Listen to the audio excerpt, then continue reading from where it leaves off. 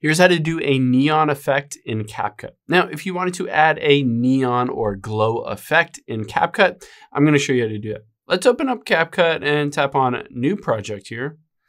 I'm gonna tap on Stock Videos and I'm just gonna choose a random stock video to add. Now that I've done that, I'm gonna tap on Effects at the very bottom and Video Effects. Now on here, I'm gonna type in neon and hit search and I'm gonna do neon outline. So you can see I can adjust it depending on the intensity, but let's keep it at max right now and hit the check mark. So you can see it has a really cool neon outline. Let's scroll this to the very end of this video, delete the little outro. So now what we're gonna do is essentially save this to our gallery. Let's hit the export button at the top right, and we're gonna save it to our gallery. And then essentially what we're gonna do, let's hit done, new project. I'm gonna go over to that same stock video and add it, the original one. And now I'm gonna tap overlay at the very bottom, add overlay, and add this one with the neon glow. Now I'm gonna zoom out a bit so basically it covers this entire screen.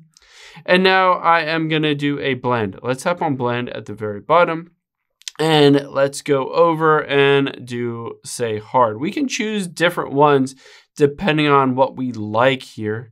So let's switch over to overlay, see how that looks as well.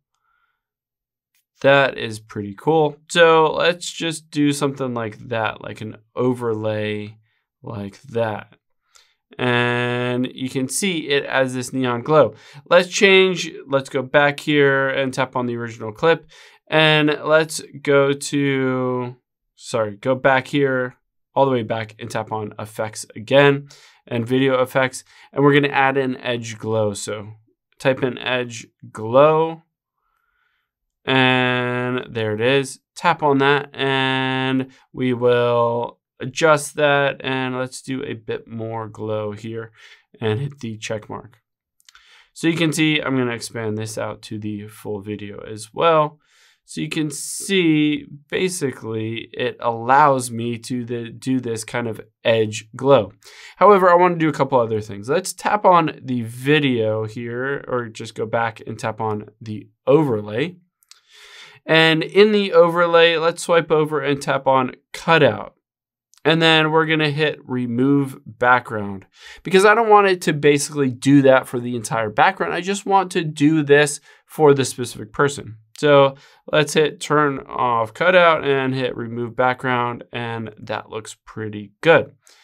Now, another cool thing that I can do is make that neon glow kind of expand over time. So let's tap the original video and tap a keyframe. And then let's scroll over a bit and we'll tap on that edge glow and we'll add a new keyframe on here and we'll expand it out a bit. So let's expand it so that it looks like that glow effect is kind of moving out. And then I'm going to scroll forward a little bit, add another one, and I'm going to scroll it out even more. So now you can see if I, oh, let's add the original one and keep it back down to center. So now I hit play and you can see it has that cool neon effect to it. And then it starts to expand it out and expand it out even more. And of course, you can do any other animations, any other effects with that, but that's essentially how you do that neon glow. Hope this helps. If you have any questions on that, leave them in the comments down below, and I'll catch you on the next one.